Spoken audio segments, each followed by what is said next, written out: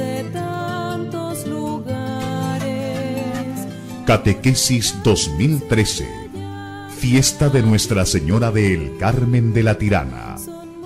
Caminando en la escucha de la palabra. Una presentación de la Diócesis de Iquique, Federación de Bailes Religiosos de la Tirana, Santuario de Nuestra Señora del Carmen de la Tirana y Pastoral de Bailes Religiosos. Catequesis 2013. Fiesta de Nuestra Señora del Carmen de la Tirana. Caminando en la escucha de la palabra.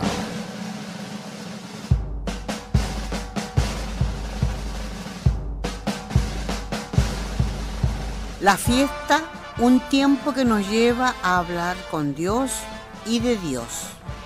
Un año más, tambores, cajas y tantos otros instrumentos han comenzado a sonar por las ciudades del norte grande.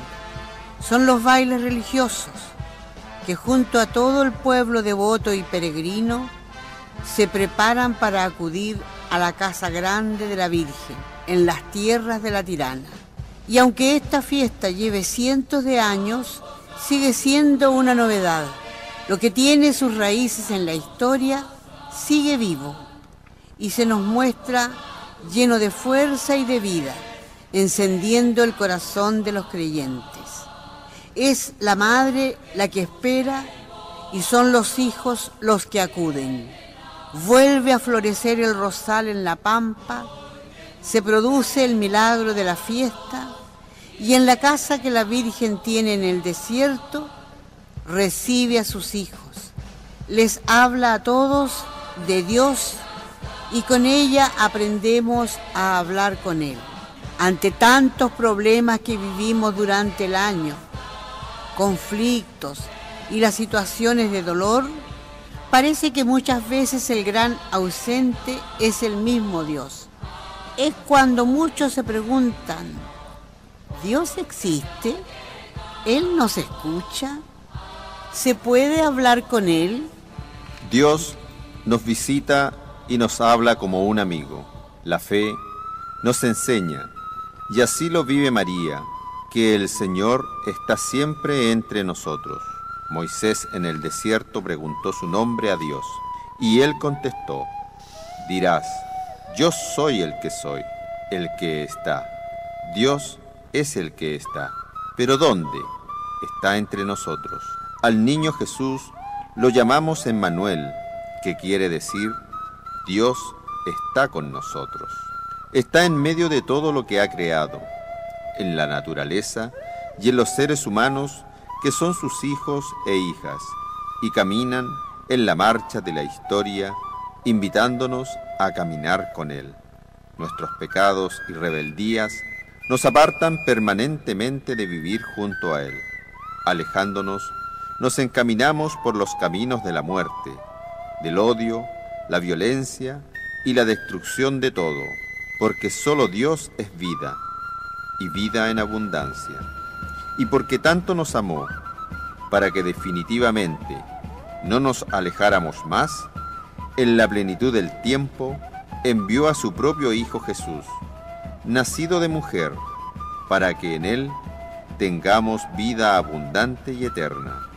El testimonio de que Dios camina entre nosotros es la misma persona del Señor Jesús, que pasó haciendo el bien, que murió en la cruz y que resucitó para hacernos ingresar a la casa del Padre, el cielo.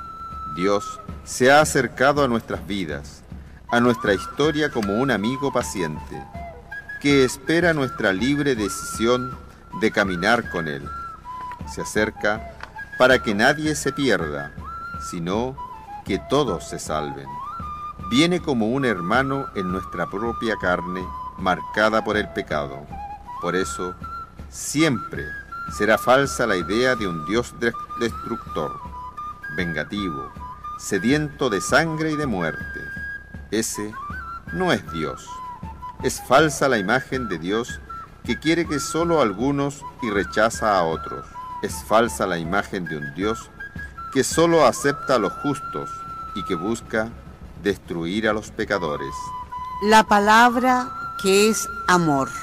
Muchos se han preguntado quién es Dios y surgen tantas respuestas que intentan descubrir las principales características de Dios. Eterno, perfecto, creador de todo, no creado, etc. Sin embargo, todo eso no es suficiente.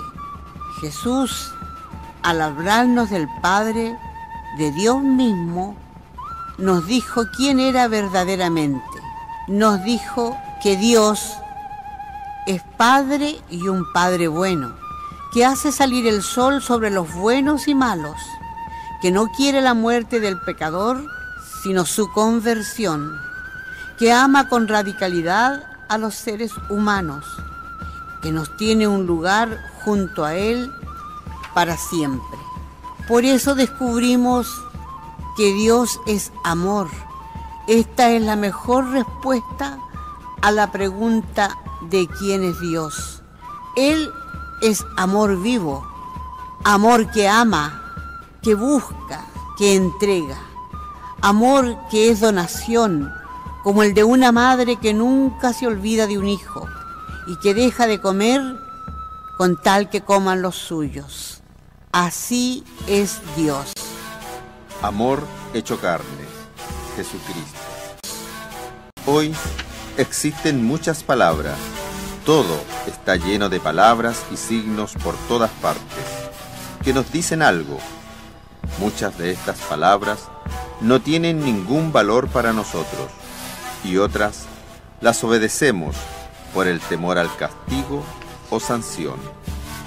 Entre tantas palabras, la misma palabra de Dios puede resultar una palabra vacía o hueca, que se lee o se proclama, pero sin contacto con su contenido más esencial, Dios mismo, hecho hombre en Jesucristo. Si en la Sagrada Escritura no está Dios, la palabra puede ser solo un discurso, una historia antigua. La presencia de Dios en ella es la que la hace viva, santa y eficaz. Por ello, para escuchar a Cristo en el Evangelio y en las palabras de la Sagrada Escritura, no es suficiente tener conocimientos de historia, teología, etc. Eso ayudará mucho, pero no es lo fundamental. Lo esencial para escuchar al Maestro es buscar, vivir en la experiencia del amor, porque si estoy en ella, entonces estoy en Dios y Dios está en mí. Porque si yo comprendo y explico las escrituras, pero no tengo amor porque hablo mal de los demás, soy prepotente, vivo pendiente de mis gustos e intereses, etc. Entonces, algo me falta. Me he encontrado con las palabras, pero aún no me he encontrado con el Señor. El Señor está escondido y presente en las palabras de la Escritura, y solo se le descubre cuando amas y lo miras con amor. Solo el amor abre la puerta de la palabra y te hace entrar en ella. La llave secreta para comprender lo que Dios dice e invita a realizar es el amor.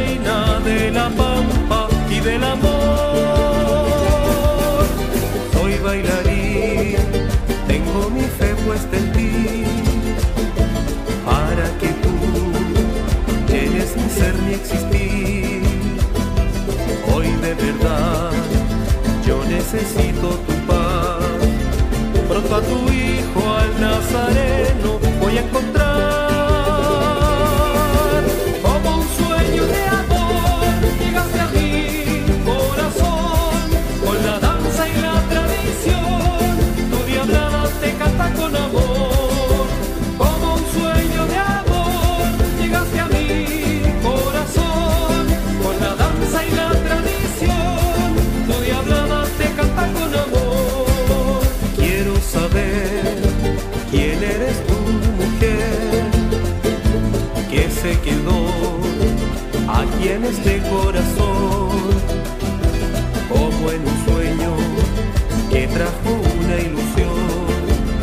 Eres la reina de la pampa y del amor. Soy bailarín, tengo mi fe puesta en ti. Para que tú llenes mi ser y existir. Hoy de verdad necesito tu paz. Pronto a tu hijo, al Nazareno, voy a encontrar.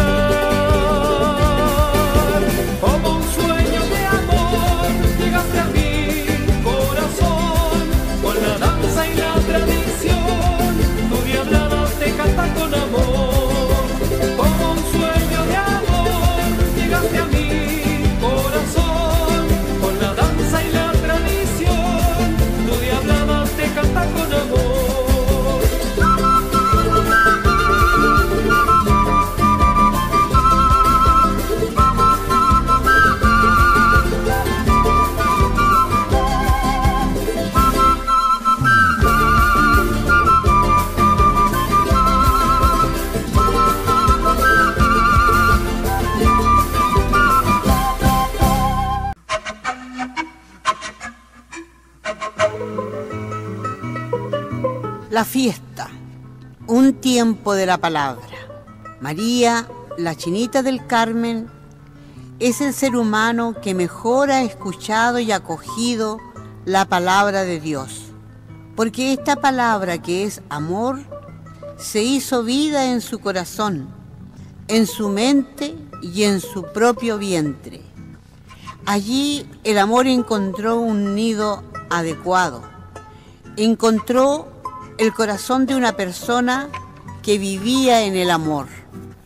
Vivir en el amor significa confiar en Dios en medio de la dificultad, ayudar a los demás sin esperar recompensa, saber perdonar, no juzgar, no hacer ni desear el mal a nadie, compartir lo que se tiene, tener un corazón misericordioso.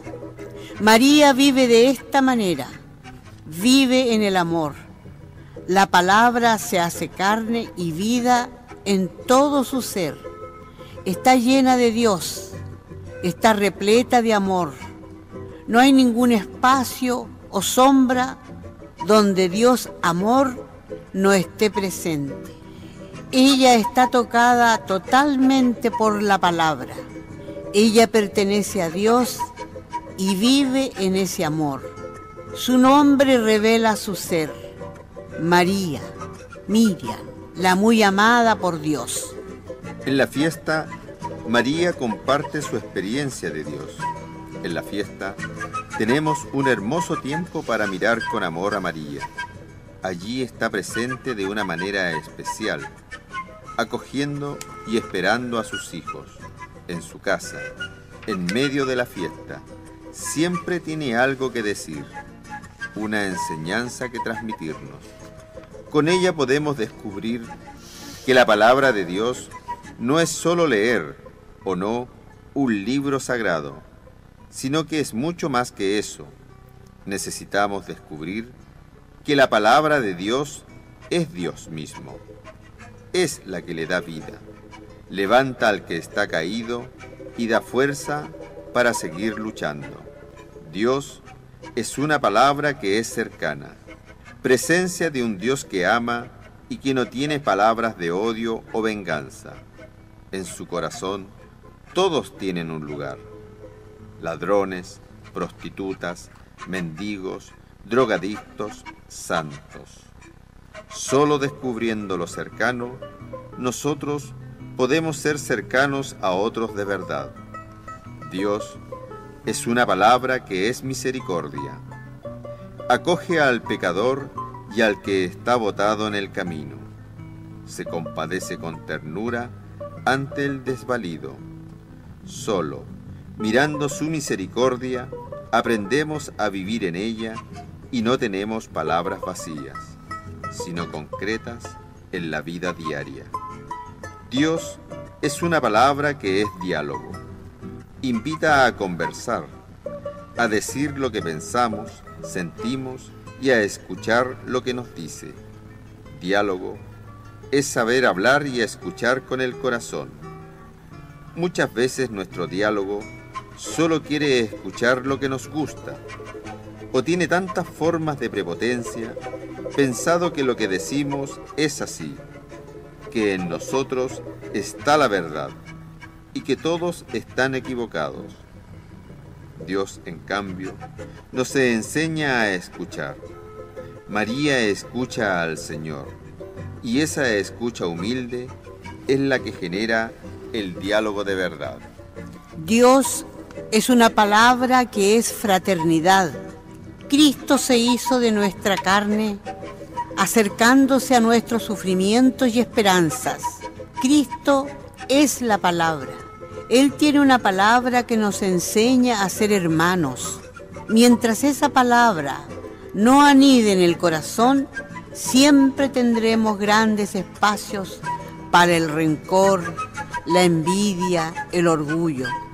Y todo esto no nos deja ser hermanos de verdad, nos aleja. ¿Cuántas veces tenemos la apariencia de cercanía, pero no lo somos de verdad? Dios es una palabra que es valiente, no tiene miedo al mal y busca hacer siempre el bien.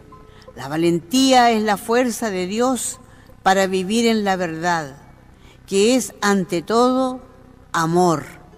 Es la fuerza de Dios que por su presencia nos ayuda a buscar lo que es justo, bueno y verdadero. Muchos pensamos que la valentía consiste en denunciar lo que está mal en otros o en la sociedad. Pero la valentía es más que eso. Comienza cuando reconozco lo que está deficiente y equivocado en mí. Dios es una palabra que es danza y gestos. Dios no tiene miedo de mezclarse con su pueblo, de caminar con ellos. Dios ama nuestras costumbres, las respeta y acoge y busca a través de ellas que nos encontremos con el corazón. La Virgen lo sabe, porque ella camina con el mismo amor. Por eso que danza con sus hijos e hijas en las calles del pueblo y baila con alegría para Dios. Con nosotros levanta sus oraciones y con paciente espera acompaña la oración humilde de los que encienden con fe por largas horas sus velas. Dios acompaña el caminar de los peregrinos y escucha el ruego de la Virgen que está diciendo, Hijo, escúchalos, míralos. Por eso, si Dios ama esta fiesta, ¿quién puede levantar su voz para destruirla o despreciarla por el simple hecho que no le gusta?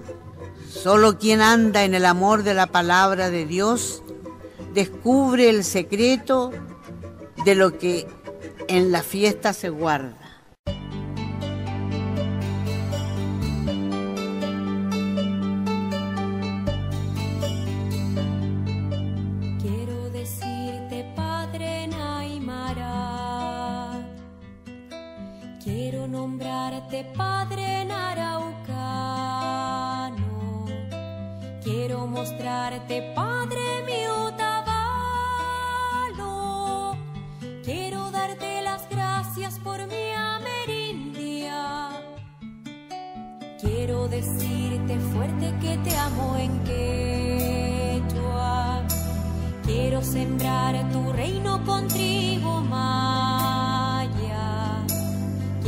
Quiero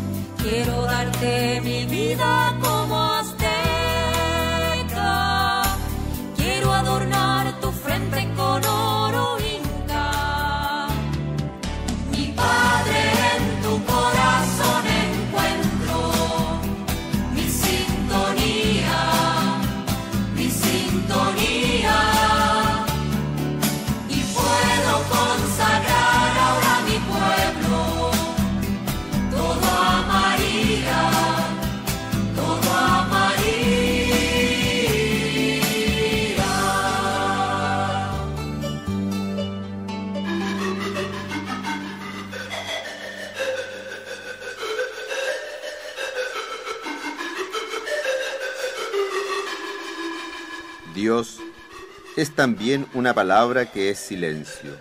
Está allí, pero no siempre se descubre. Tiene presencia, pero no siempre se palpa. Dice algo, pero no siempre se comprende. Y sin embargo está. El amor tiene mucho de silencio. El amor nos lleva a descubrir que amar también significa guardar silencio. Dios guarda silencio, y en ese silencio dice tantas cosas. Así también, a los pies de la Virgen, en la danza de los bailes religiosos, en el caminar peregrino de muchos, hay silencio, aún en medio de la música y los ruidos. Dios hace silencio que se vuelve una mirada de ternura, acogida sin límites, y en ese silencio conduce a todos sus hijos. María, la mujer valiente de nuestra fe, es la mujer de la palabra, porque ella vive en Dios. Dios es amor y ella vive, respira y existe solo y por el amor. Una vasija de barro que sabe contener al mismo Dios. El amor hace posible lo imposible. El amor engendra maravillas. El amor levanta lo caído, calienta lo frío, endereza lo doblado. El amor coloca sus ojos en el miserable y escucha al que nadie escucha. El amor mira lo que el prepotente desprecia y el orgullo discrimina. El amor sienta a todos en la misma mesa y los llama a todos hijos. El amor se saca su abrigo para cubrir al desnudo, sin importar que se queda con nada. María lo sabe, porque ella está sumergida en la palabra, no en la lectura de un libro, sino en la escucha de un Dios que habla y que solo se comprende en el lenguaje del amor. Peregrinos, discípulos en busca de la palabra. Al partir a la fiesta, desde nuestras más diversas realidades, vamos todos con muchas esperanzas, pero la fiesta no es solo la oportunidad para cumplir con ritos y costumbres, danzar y festejar, pasarlo bien y encontrarse las familias. Eso es muy bueno, pero es la gran oportunidad de encontrarnos con Dios. La Virgen nos invita a ello. Quien se dirige a la casa de la Virgen, su santuario, se encamina a un lugar sagrado y lo hace con su propia historia. Lleva una carga propia. Cada uno de nosotros llevamos nuestro peso, pero ¿quién de nosotros sabe cargar totalmente con su vida? ¿Quién de nosotros no necesita de la ayuda de otros? Para saber vivir es necesario amar. Esto nos enseña la chinita, la mujer valiente de nuestra fe. Ella nos muestra con su propio testimonio que vale la pena amar y hacerlo de verdad. Y amar así es tomar contacto con Dios, que es amor. Por eso, nosotros que somos peregrinos al santuario de la Virgen, somos también discípulos que necesitan aprender. Necesitamos aprender a amar y para esto es necesario saber escuchar. El oído del corazón se limpia y se afina solo con el amor, un amor creyente, un amor que necesita de Dios. Somos peregrinos, danzantes, creyentes y también discípulos que necesitamos escuchar a Dios y descubrir lo presente en las palabras de la Sagrada Escritura. En la escuela de María aprendemos cómo hacerlo. Ella nos dice, haz todo cuanto Él te diga. El amor descifra todos los secretos. El amor abre todas las puertas. Dios es amor. Cuando entendemos que Dios es amor, los escritos se llenan de luz. Dejan de ser palabras aburridas o pasadas de moda. Se vuelven palabras de Cristo, pero palabras que no son solo palabras vacías. No, estas son palabras llenas de vida, porque son actitudes, gestos, modos, tonos, formas de ser del mismo Jesús. Al tocar a un enfermo, al acercarse con respeto a un pecador, al acoger a un leproso, vemos una palabra viva, una palabra que es necesario escuchar, una palabra que no es falsa, que es lo que dice, porque es una palabra que es amor. Y esta palabra que es amor es la que nos mueve a vivir en la fe. Una palabra que compromete como comprometía la palabra del hombre. Porque esta es palabra de Dios. Subamos al santuario, llevando en el corazón esta súplica. Señor, déjame escuchar tu palabra, pero que la escuche no solo con el corazón, sino con el amor. Querida Chinita, enséñame a amar y ruega para que Jesús me mire en esta fiesta como me miras tú. Presbítero Franklin Luz Azañarto, rector Santuario Nuestra Señora del Carmen de la Tirana.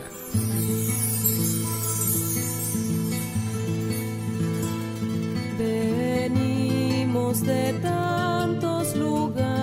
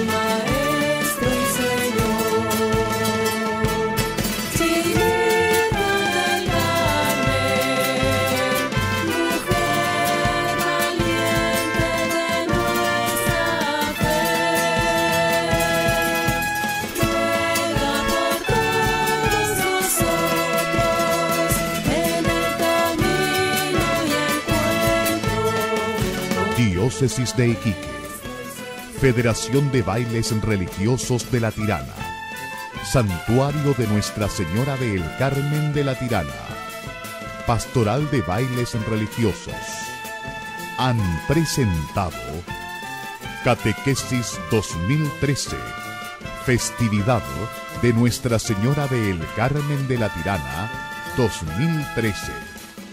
Caminando en la escucha de la palabra.